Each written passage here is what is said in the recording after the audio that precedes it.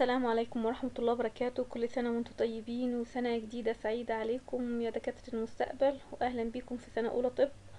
معاكم دكتورة سحر محمد جبريل مدرس histology بكلية طب سوهاج. النهاردة هنديكم بإذن الله المحاضرة الخامسة من ال block التاني اللي هو Principles of Microscopic and Macroscopic Structure. المحاضرة بعنوان Non-Membranous Organelles. من الحاجات المهمة في ال histology إن أنا أعرف how to define أو أقول ال definition بتاع ال structure اللي أنا بتكلم عنه. من بداية ال block وإحنا بنتكلم عن ال cell وعرفنا تركيبها سواء cell membrane nucleus والسيتوبلازم لو جينا للسيتوبلازم قلنا السيتوبلازم ده عبارة عن إيه؟ cytoplasmic matrix اللي هو colloidal solution في nutrient amino acids fatty acids كربوهيدرات وفي ions وفي minerals تمام؟ جوه ال cytoplasmic matrix ده في حاجة اسمها organelles organelles دي بقى عبارة عن إيه؟ organelles جاية من organ organ يعني عضو. ف organelles يعني تصغير عضو يعني عضيات. العضيات دي يا إما لها membrane متحوطة ب membrane ودول أخدتهم يا إما ملهاش membrane وده اللي هتكلم عنه. طيب لما نيجي نتكلم على non membranous organelles قلنا متفقين إن إحنا لازم نقولها definition هو إيه ال definition بتاع ال organelles دي عبارة عن دي عبارة عن حاجات living يعني عايشة حية. permanent يعني مش مش ممكن النهارده هشوف في الخلية organelle بكره تاني مش هلاقيه فيه. لا ده permanent موجود طول فترة حياة الخلية. يبقى living permanent active يعني شغال على طول. يبقى living permanent active structure. بتبقى موجودة within the cytoplasm with specific function. يبقى لما أتكلم عامة يعني إيه organelle يعني عبارة عن living permanent active structure in the cytoplasm with specific function. نيجي بقى للجزء التاني non membranous إن هي not surrounded by membrane. تمام؟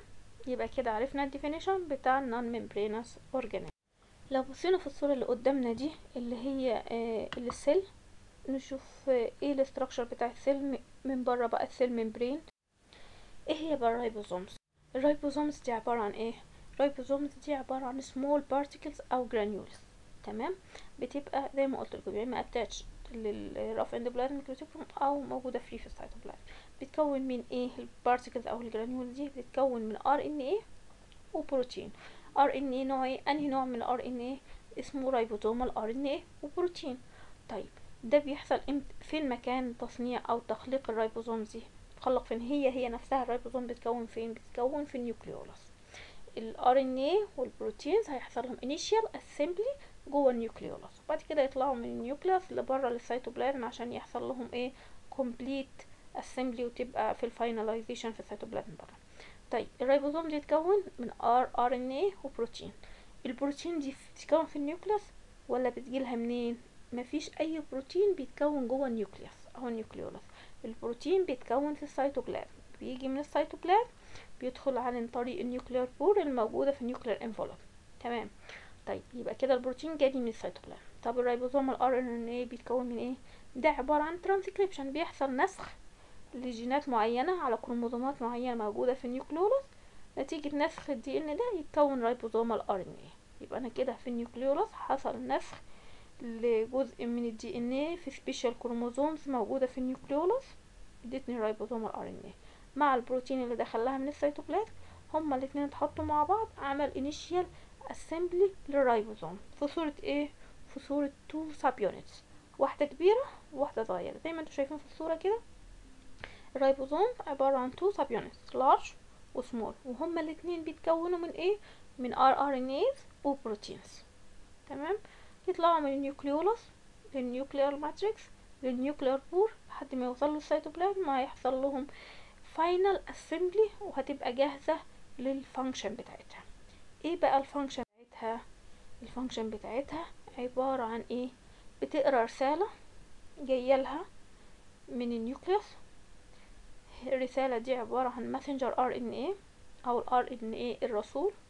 تبص في الرسالة وتقراها وتترجمها وتستخدم لي شوية حاجات كده structure عشان تكون لي إيه اللي بتصنعه ده اللي هو البروتين طيب هو ال messenger RNA ده جه منين؟ نفس قصة ال ribosomal RNA بس ال messenger أنا عندي ال DNA موجود في ال nucleus تمام؟ في جين معين لبروتين معين موجود في ال DNA. تمام. الجين ده عشان يترجم عشان يتصنع منه بروتين بره ما ينفعش يطلع ال DNA بره ال nucleus أمال إيه اللي هيحصل؟ الجين ده بتاع البروتين المعين المطلوب من الخليه دي إنها تصنعه بيحصل له ترانسكريبشن نسخ على RNA بنقول عليه ال messenger RNA بيحصل إزاي النسخ ده؟ ال double strand بتاع ال DNA بيفصلوا عن بعض زي ما أنتم شايفين في الصورة كده. وبعد ما يفصلوا من بعض. أنواع ال ribosomes في نوعين موجودين عندنا. نوع بيبقى free particles أو ال granules بتاعت ال ribosomes موجودة free في السيتوبلازم وفي نوع تاني بيبقى ال granules دي عبارة عن attached ماسكة في الشبكة الأندوبلازمية الخشنة أو ال rough endoplasmic reticulum دي ليها دور ودي ليها دور. اللي هي attached لل RER أو ال rough endoplasmic reticulum دي بتصنع ال proteins اللي هي هتصدرها للخارج. تمام؟ لأن البروتين اللي بيطلع منها بيدخل جوه ال RER وبعد كده من ال RER هيدخل لجولجي وهيبقى packaged بطريقة معينة وعليه زي ticket أو label بالعنوان اللي رايح له. هيمسك فيه عشان يفضي سواء في ال apical cytoplasmic membrane أو ال basolateral. تمام؟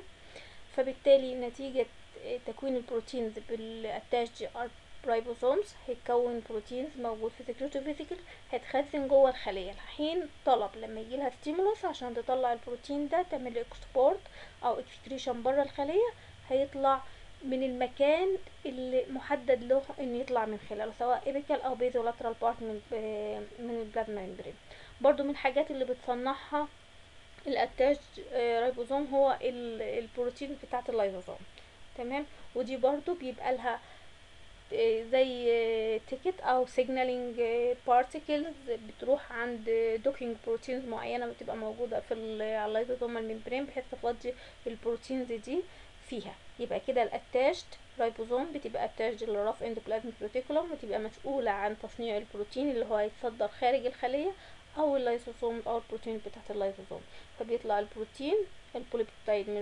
الرايبوزوم اللي على ال RER يدخل جوه ال lumen بتاع ال RER ومنها عن طريق ال vesicle لل Golgi من الجولجي هيحصل له في ال RER بيحصل له modification في الجولجي بيحصل له package وبياخد signaling pathway أو بروتين معين كده كأنه بيقول له أنت رايح العنوان الفلاني عشان تروح تطلع من خلاله البروتين تمام؟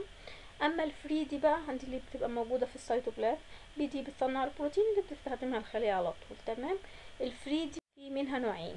يا نوع اللي هو sparse اللي هو ال granule متنطورة كده يا إما النوع التاني اللي هو polysome تحس إن الرايبوزوم عاملة زي السبحة كأنها ملفوفة على خيط كده زي السبحة. الخيط ده بيبقى عبارة عن messenger RNA كل واحدة من ال ribosomes دي بتمسك فيه بتبدأ من عند ال start من البداية عند خمسة داش وبعد كده تقعد تقرأ تمشي تمشي على ال messenger RN كل كودون بتقراه بيجي ال anticodon بال amino acid مع ال tRNA بتكون polypeptide chain شايلاه على ظهرها وتيجي اللي بعدها وتيجي اللي بعدها لحد دي ما تخلص تيجي اللي بعدها ماشية وراها فكده تحسهم ماشيين في سلسلة على ال messenger RNA فدول تجميع من ال free اللي هو موجود قصدي في ال cytoplasm free يعني موجود في السيتوبلازم يبقى بس في شكل polysome متجمعين على خيط واحد أو شريط واحد اللي هو ال messenger RNA كده إحنا خلصنا أول non membranous organelle اللي هو الريبوسوم ندخل تاني حاجة بقى اللي هو ال cytoskeleton ال cytoskeleton ده عبارة عن هيكل الدعامي للخلية.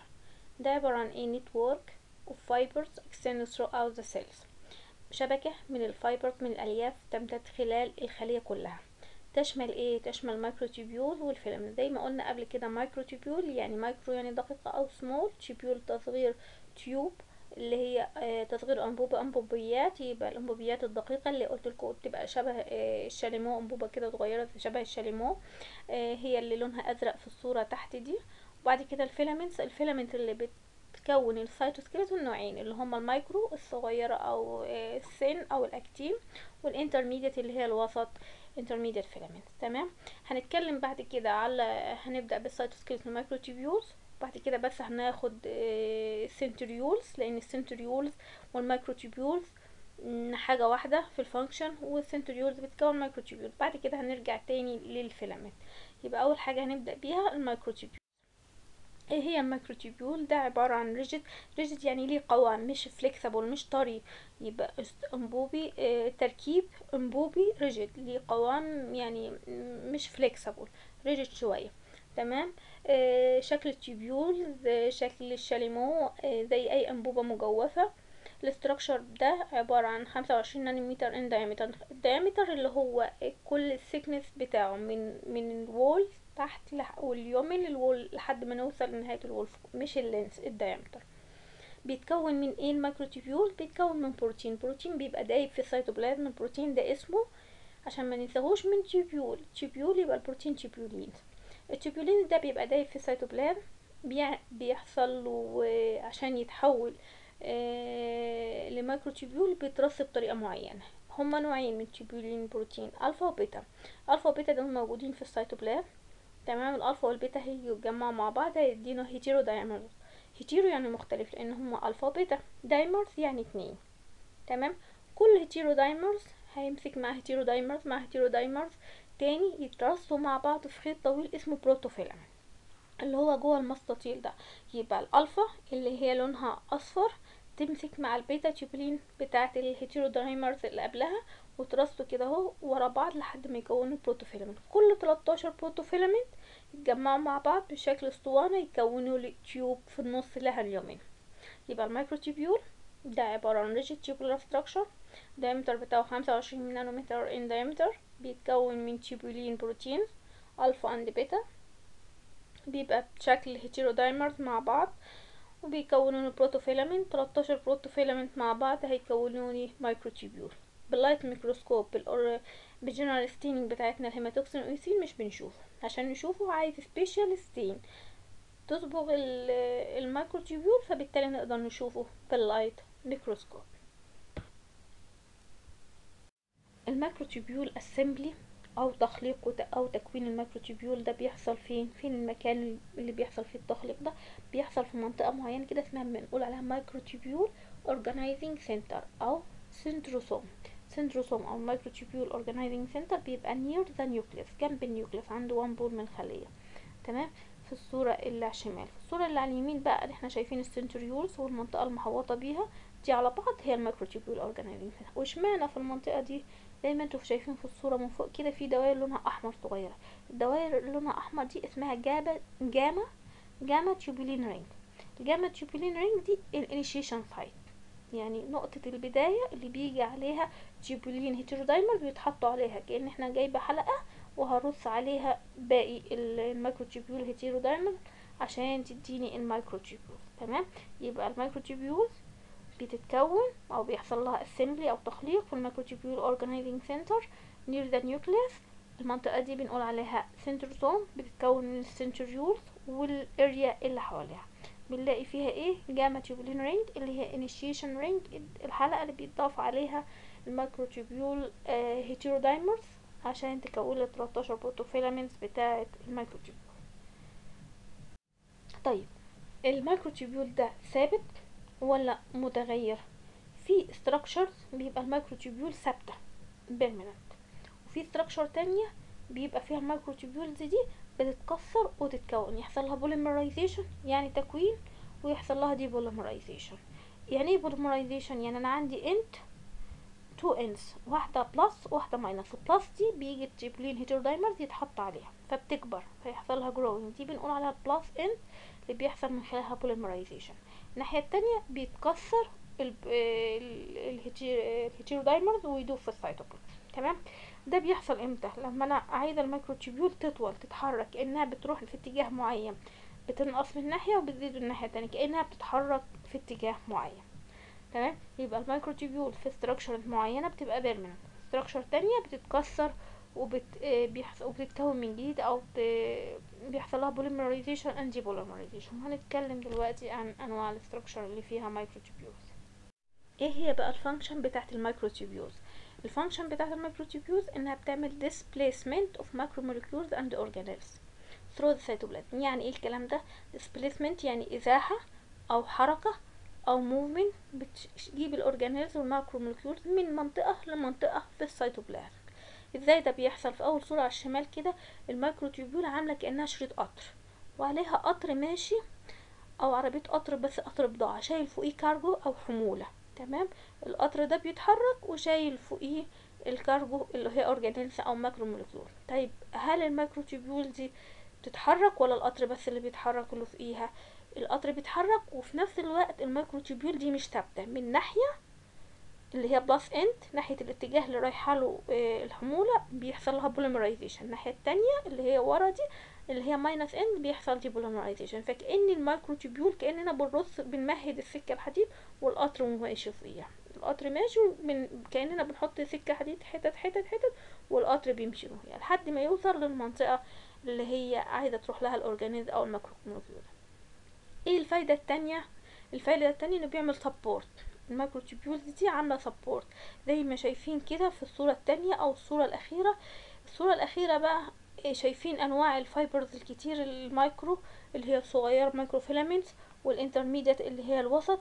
ال- أما ال microtubules اللي هي عاملة زي الشاليمو اللي لونها مصفر شوية أو ذهبي شوية دي عاملة support عاملة mechanical support للخلية بالألياف المختلفة التانية. يبقى أول two function ال microtubule displacement أو movement لل macromolecules وال organelles through cytoplasm. بتحركهم من حتة لحتة.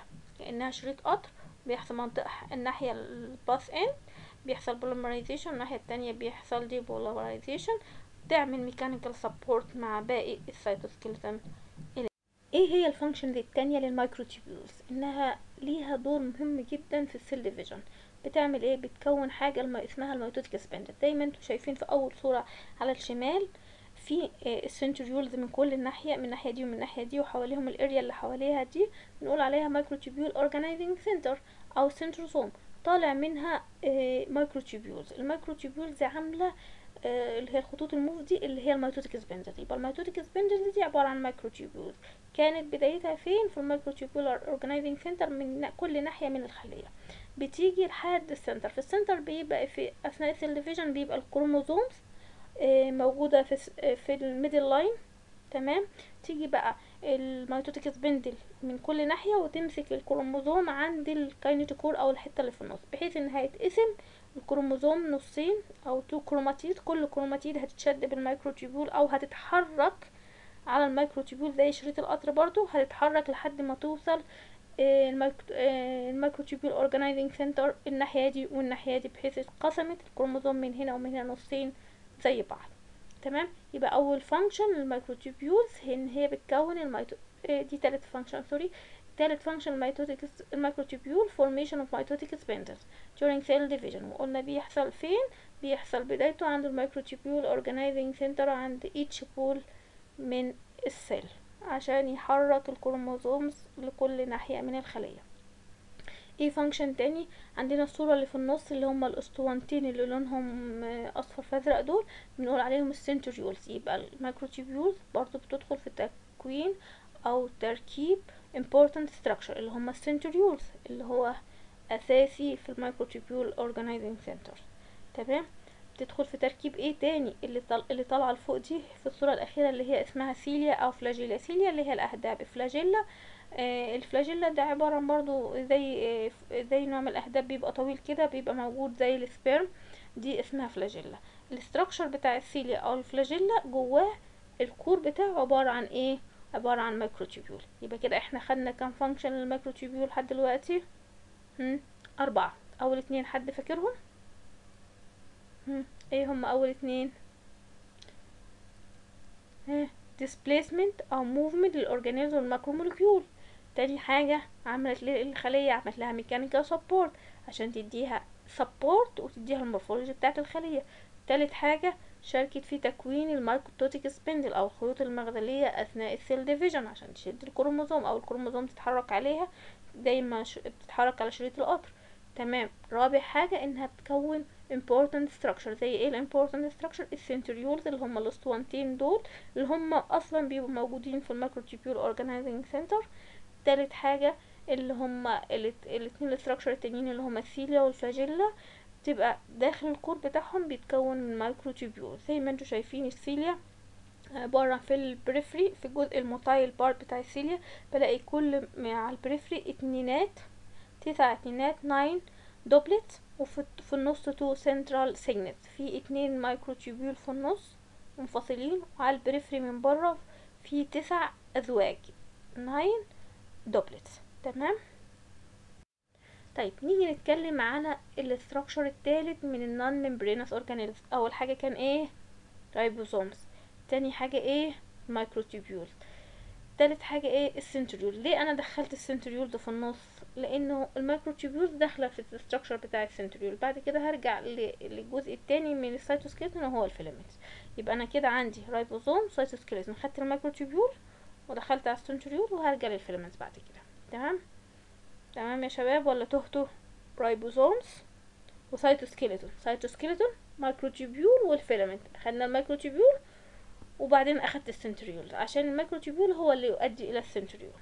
ال centrioles دول عبارة عن إيه يا شباب؟ عبارة عن بيبانوا في الخلية عبارة عن نقطتين two dots بيبقى close to the nucleus. زي ما أنتوا شايفين في الرسمة على الشمال إيه هي بقى ال function of centrioles زي ما إحنا عارفين الخلية ال interphase اللي هي مش بتنقسم بيبقى فيها pairs من ال centriole اتنين at كل واحد at right angle to the each other. تمام؟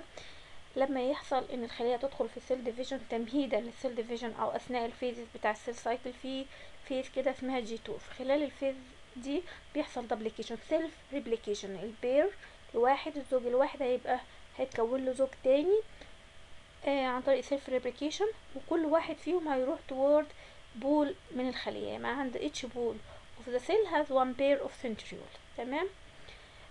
من ال... من المكان ده اللي بيبقى فيه ال pair of centrioles وال surrounding area اللي إحنا بنقول عليها centrosome أو microtubule organizing center بتطلع ال mitotic spindle هتمشي زي ما إحنا شايفين في الصورة اللي تحت على اليمين بتتجه لل midline بتاع الخلية عشان تبقى attached لل kinetochore بتاع الكروموزوم.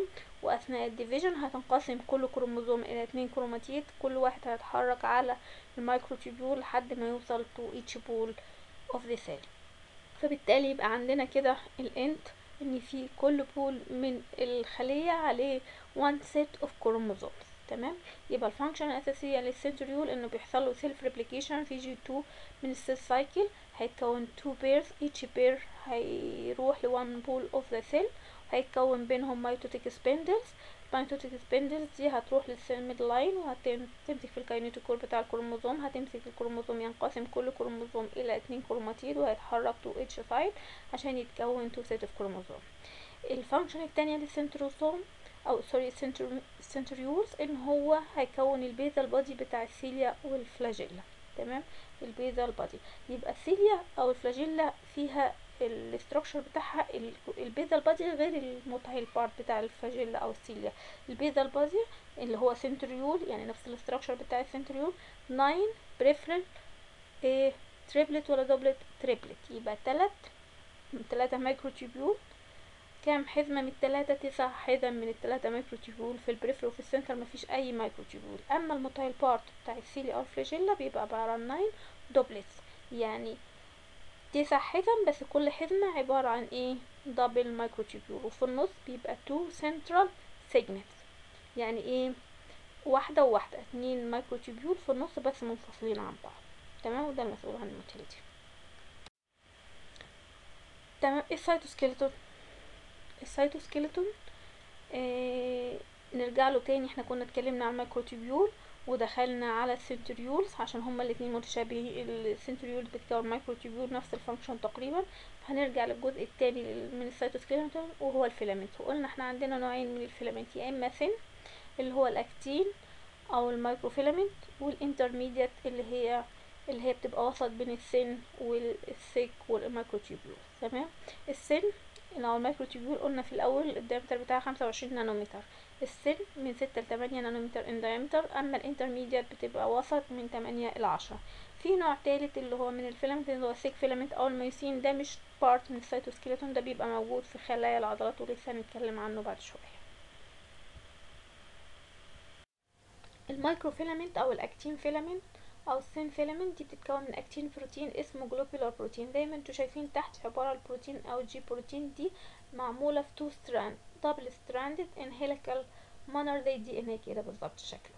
تمام بتبقى موجودة تحت ال plasma membrane in form of network بنقول عليها terminal web دي بتعمل support و shape لل plasma membrane لما بيبقى فيه بعض الخلايا ال absorptive cells الخلايا المسؤولة عن الامتصاص بيبقى فيه خملات طالعة منها كده بنقول عليها microvilli ال microvilli بتحتوي جوه ال core بتاعها على اكتين أو microfilament في بعض الخلايا ال actin filament ده بيبقى highly organized تمام؟ بيبقى مسؤول عن ال contraction اسمه زي إيه الخلايا دي؟ زي الخلايا اللي هي العضلات أو أنسجة العضلات. آه في خلايا تانية أثناء الانقسام ال microfilament وال actin filament بتصطف كده في نص الخلية عند ال binary division مكان انقسام أو تخصر الخلية بتعمل لنا حلقة تخصر أو انقسام بحيث تساعد إن السيتوبلازم ينقسم إلى جزئين فيتكون عندنا two cells يبقى ال microfilament أو الأكتين أو ال thin filament بتبقى موجودة تحت ال plasma membrane forming network أو terminal web مع باقي مع باقي ال filaments تمام؟ وبعض الخلايا بتبقى ليها special organization وبتبقى مسؤولة عن contractility مع ال myosin في ال skeletal وال cardiac muscle أو لوحدها في ال smooth muscle ومسؤولة عن formation contraction ring اللي هي بتبقى مسؤولة عن البينري ديفيجن أثناء السيل ديفيجن الانترميديت فيلامنت الانترميديت فيلامنت انترميديت وسط بين ال thin وال thick filament في أنواع مختلفة منها بتختلف في ال chemical composition بتاعها وبتبقى موجودة في خلايا معينة. يعني ال class 1 أو الكيراتين بيقال عليه ال tonofilament ده نوع من ال intermediate filament بيبقى في ال stratified epithelia اللي هو ال epithelia متعدد الطبقات أو النسيج الطلائي أو المبطن اللي بيبقى متعدد الطبقات. ده بيبقى موجود فين؟ موجود في ال skin أو الجلد. الخلايا بتاعته خلايا الجلد بتحتوي على كيراتين. النوع التاني اللي هو inter من ال intermediate filament اللي هو ال desmin ال desmin بيبقى في ال smooth muscle اللي هي الخلايا العضلية الملساء. النوع الثالث اللي هو ال vimentin بيبقى موجود فين؟ بيبقى موجود في ال fibroblast ال fibroblast دي الخلايا اللي بتكون ال collagen وال elastic وبتبقى موجودة في النسيج الضام. neurofilament من اسمها neuro يبقى موجودة في ال nerve cells glial filament بتبقى موجودة في ال glial cell ال glial cell دي الخلايا اللي هي supporting أو الخلايا الداعمة اللي بتبقى موجودة بين الخلايا العصبية في الجهاز العصبي المركزي أو ال central nervous system ال laminin دي نوع من ال intermediate filament بتبقى موجودة آه تحت ال nuclear envelope على طول. ودي اللي مسؤولة إن بيتعاد تكوين أو أو تخليق ال nuclear envelope بعد ما يحصل division وكل نسخة أو set من الكروموزوم بتروح one pole من الخلية من الخلية وتنقسم دي خلية ودي خلية لوحدها. هيرجع يتكون nuclear envelope جديد حوالين المجموعة الجديدة من الكروموزوم. فتكوين ال nuclear envelope بيعتمد على وجود ال laminin intermediate filament تحت ال nuclear envelope. لو قلنا إيه هي ال functions بتاعت ال filaments عامة على بعض بقى سواء thin filament أو intermediate filaments آه أول حاجة mechanical support هما الاتنين مشتركين في ال mechanical support وال morphology بتاع الخلايا. ال intermediate filament هي اللي مسؤولة تمام بصورة أكبر على توزيع tensile force على الخلية. زي ما قلنا عند مكان ال cell junction مع الخلية مع الخلية التانية لما بيحصل stretch أو force على خلية فالتاني ما يبعدوش عن بعض لأن ال tensile أو قوة الضغط دي بتتوزع على كل الخلية عن طريق ال filaments تاني حاجة مسؤولة عن involved muscle contraction دي الأكتين تمام؟ آه المسؤولة عن انها تعمل contraction ring آه في ال cell division برضو هي ال actin filament فدي تلخيص ال function بتاعت ال filament بتاعت ال cytoskeleton ال thick أو ال myosin filament دي نوع النوع الثالث من الفيلامنتس السن والانترميديت والسيك دي thick بس هي مش part من ال cytoskeleton بالعكس دي هي موجودة في خلايا محددة زي ال skeletal وال cardiac muscle عشان ال contractile function مش أكتر. يبقى هي موجودة في الخلايا المخططة العضلية الهيكلية اللي هي skeletal muscle أو الخلايا المخططة النوع التاني اللي هو موجود في ال heart أو ال cardiac muscle وهي not part of the cytoskeleton. وال diameter بتاعها بيبقى thick عشان كده هي أكبر في الديامتر من الثين والانترميديت فيلامنت البروتيوزومز البروتيوزومز دي حبيت أقول لكم كلمتين عنها لأن أنتوا ممكن وانتوا بتحلوا MCQ أو امتحانات هتلاقوها من الاختيارات. ال proteasome ده عبارة عن protein structure non-membranous زي tube كده آه بيدخل فيها البروتين من ناحية بيطلع من الناحية التانية amino acid زي ما أنتوا شايفين في الصورة بس البروتين اللي بيدخل فيها يبقى لازم بيبقى إيه متعلم بعلامة يبقى ليه علامة معينة عشان يقدر يدخل. العلامة دي اسمها ubiquitin فبيبقى عليها ubiquitin آه كذا ubiquitin فبنقول عليها polyubiquitinated آه وبتدخل من ناحية كبروتين من الناحية التانية بيحصل لها degradation أو digestion كأن كأن ال function بتاعتها كأنها زي function بتاعت اللايزوزوم بالظبط. وتطلعوا من الناحية التانية amino acid ومش أي بروتين بيدخل فيها. البروتين اللي هي إيه بتبقى مدة العمل بتاعتها صغيرة. إيه ال life span بتاعها صغير. البروتين اللي بيبقى فيها لخبطة في ال amino acid أثناء التصنيع. البروتين عامة بيحصل لها folding لو نوع من البروتين حصل له misfolding برضو بيتكسر عن طريق ال proteasomes ودي non-membranous structure بكده إحنا خلصنا المحاضرة ولو أي سؤال عندكم يعني ليا ساعات مكتبية هتبقى في القسم إن شاء الله. وكمان لو ال leader بتاعكم حب يتواصل معايا على الواتس يبعت لي اي سؤال أنا هجاوب عليه أو لو محتاجينه record هعمل لكم recording لو على أي حاجة مش فاهمينها إن شاء الله. بس أنا عايزة اسألكم كام سؤال كده بحيث أطمن إن أنتوا فهمتوا المحاضرة إن شاء الله. أول سؤال طبعا الأسئلة بتاعتكم سواء في ال formative أو ال end block أو ال final النهائي عبارة عن MCQ السؤال بيبقى زي ما أنا كاتبة كده which of the following is a non-membranous organelle ال plasma membrane ولا lysosomes ولا microtubule ولا endosome ولا ميتوكوندريا أنهي واحد فيهم؟ أنهي إجابة صحيحة؟ فعلا هي ال microtubule ودي إجابة صحيحة لأن الباقيين كلهم surrounded by plasma membrane. السؤال التاني اللي هو ال cytoskeleton ال cytoskeleton يا جماعة بيشمل إيه؟ هل هو الميكروتيبيول ولا الانترميديات فيلامنت ولا الأكتين فيلامنت ولا الميكروترابيكولار لاتس ولا كل الإجابات دي صحيحة. ال microtrabecular lattice هي هي ال cytoskeleton هي هي. معناها إن ال actin وال intermediate filament وال microtubule عاملين شبكة بتعمل support للخلية. فهي بتساوي ال cytoskeleton فيبقى الإجابة إيه كده؟ الإجابة الصحيحة.